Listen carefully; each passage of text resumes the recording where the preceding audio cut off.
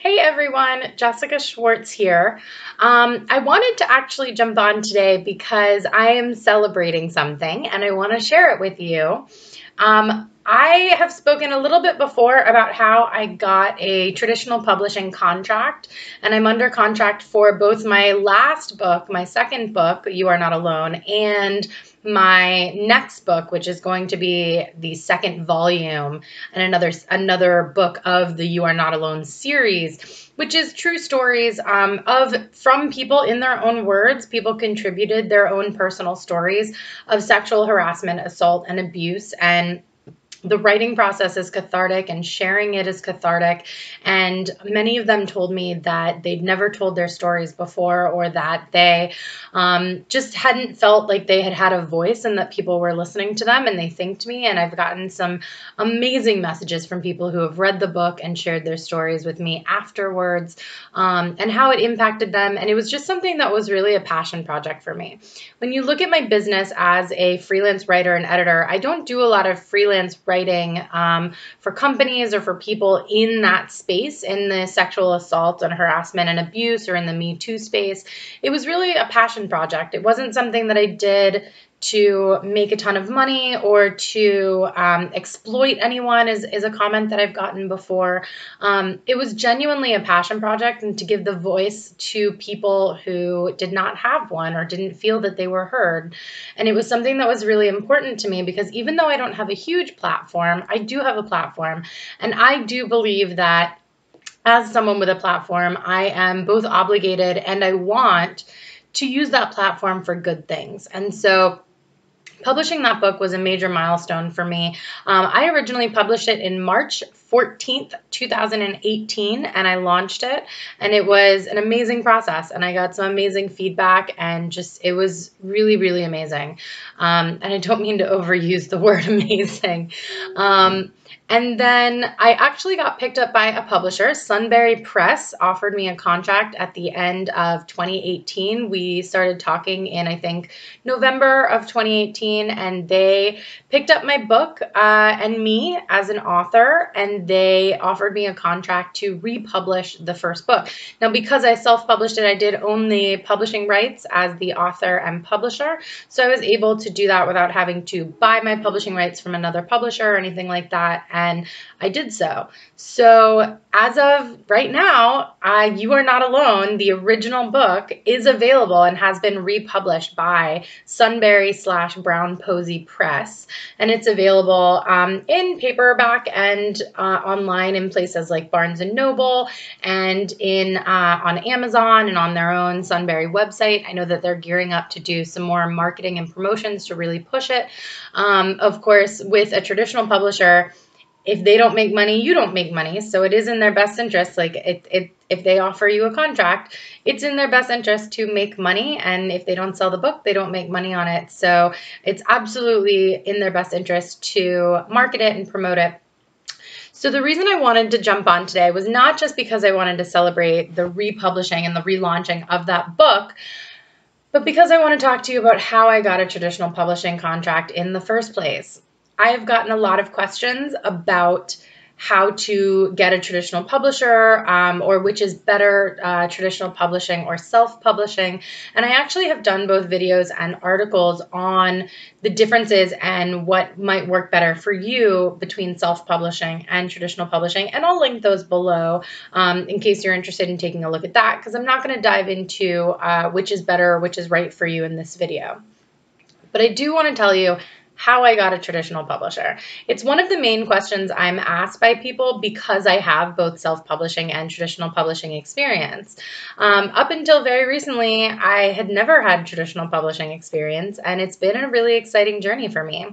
Um, so, there are a couple different ways to find a traditional publisher. You can find a literary agent and an agent is someone who will act as a go-between between the author and the publishers. They typically have a lot of traditional publishing and uh, publishing experience so they know what the different publishers are looking for what kind of manuscripts they want what kind of books they publish and that they might currently be looking for.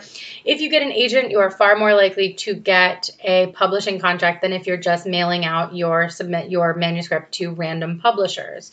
It's absolutely true. I think literary agents are awesome, and I think that they do a really good job. Um, I think for me personally, I chose not to go the agent route for several reasons. Um, one is because they do take up to like between 10 and 40% of any sales and royalties and advances that you get um, they are providing you a service and you must pay for that service out of your sales. Um, and then another one is because I already had an idea of what type of publisher I wanted to go for. So this is what I did to find a publisher. The first thing I did was I went onto Publishers Archives and onto Google and I just researched publishers that specialize in nonfiction. So once I was able to narrow down publishers, both independent and large publishers, who specifically um, look for and focus on nonfiction and have previously published nonfiction, the next thing I did was I, I individually went into each of those publishers that I then had the names of, and I was looking at different books that they've published before. Do they actively publish nonfiction now, or was that something they did in the past? Are they focusing on nonfiction as an imprint now? So that was one question I was looking to get answered. Another was looking for their submission guidelines. Do they require you to have the entire manuscript complete? Do they require you to send in a query letter or just a few chapters? Um, do they require you uh, to do any special things for uh, submitting your manuscript? And the main thing I looked for was a name.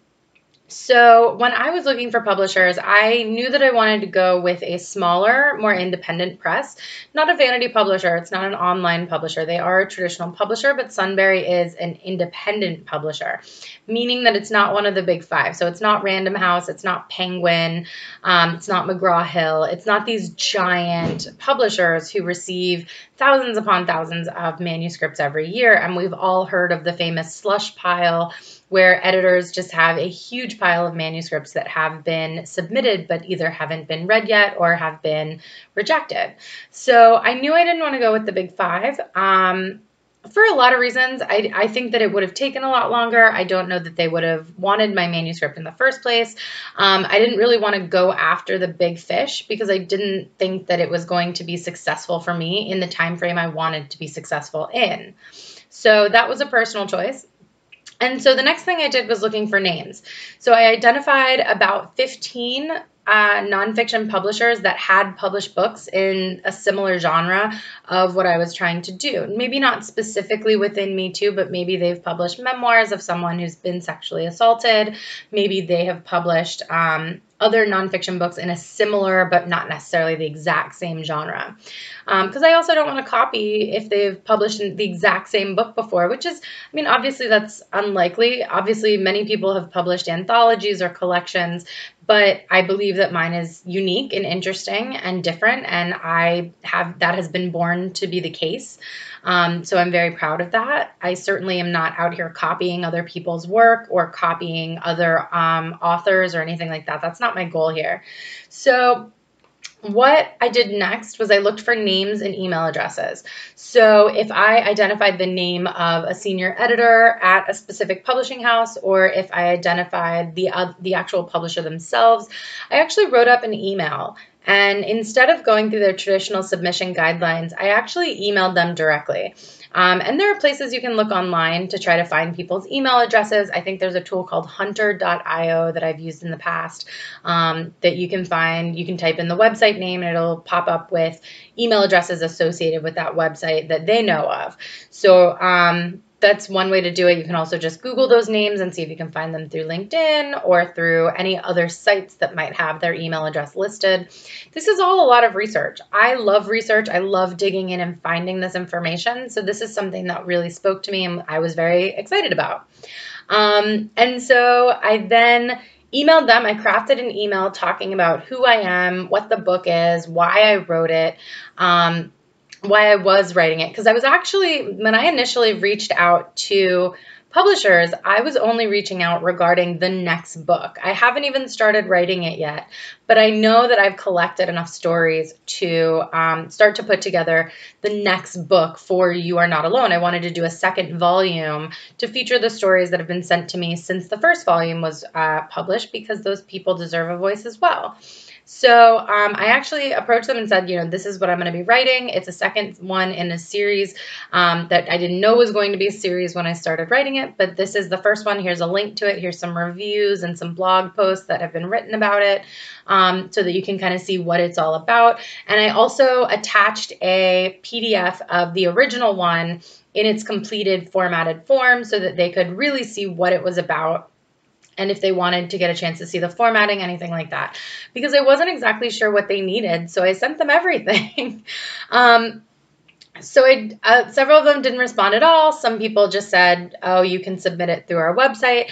And then one person, um, I actually ended up getting a couple of responses, but one of them responded fairly quickly. And Sunbury Press was amazing. Um, not only did he respond pretty quickly and say, "This is something that we'd be really interested in," he actually took the time then to go back and look at the first book as well as my other work that I've done and came back and actually asked if he could republish the first one in addition to having me under contract to publish the second one that wasn't written yet um, under their name. And so this was something that was extremely exciting to me. I had no intentions of trying to get somebody to republish a book that I'd already published and had been out for uh, almost a year at that point. And I just thought it was really amazing that they took the time. And so uh, the publisher at Sunbury Press was very clear to tell me that they do get self-published authors reaching out to them pretty regularly. They get over a thousand submissions per year for ma- for full manuscripts, and they only publish about seven percent of them, um, which is pretty in line with a lot of publishers. Uh, so it's something that that's why I didn't want to just send my resume, send my book through the website because I know that these people are getting a ton of submissions and I really wanted not only to stand out, but really I just wanted to get a response. It's fine if you say no, but there's no harm in asking typically. So that was my journey to become a traditionally published author and it's now officially true. My second book, You Are Not Alone, um, true stories uh, from around the world of sexual assault, harassment, and abuse have has been republished by Sunbury Press um, and one of their imprints, Brown Posey Press. So that was very, very exciting for me, and I'm really, really happy to be part of working with Sunbury and everyone I've worked with, the editors, the formatters, the publisher himself. Everyone's been amazing. Um, they've been completely awesome. They republished it really quickly. We signed the contract. Uh, finished signing the contract and getting everything started i think at the beginning of january. And it is and it was republished at the end of february. So they actually went in and they recreated my cover. They reformatted the book. They went through sent it through editing just to see if there was anything that we missed.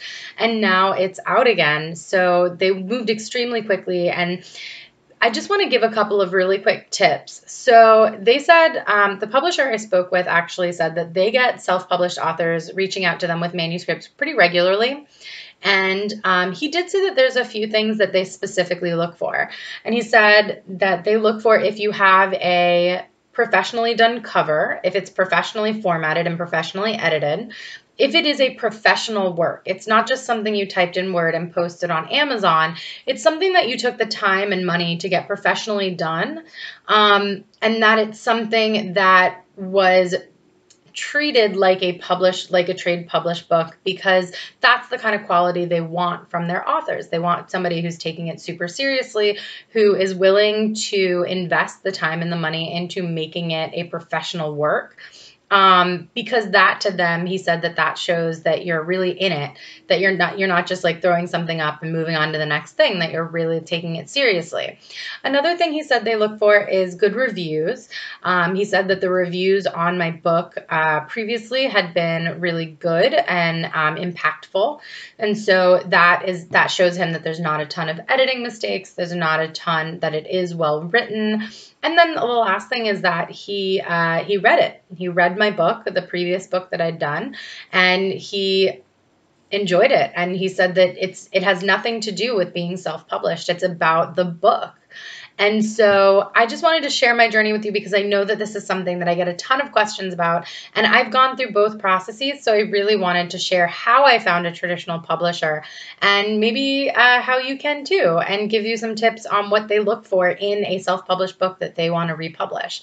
So I'm going to provide some links down below of uh, where you can now find my newly released book, um, my old newly released book, um, as well as I'm going to go ahead and link a video on the pros and cons of or just the comparison of self-publishing versus traditional publishing so that you guys can take a look and see what's a better fit for you.